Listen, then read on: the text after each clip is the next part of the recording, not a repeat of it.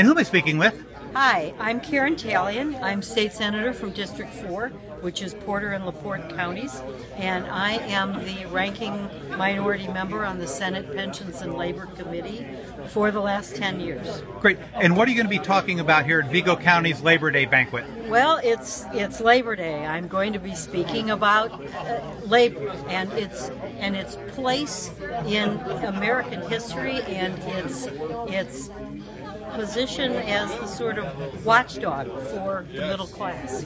Great. Thank you so much for your time. All right.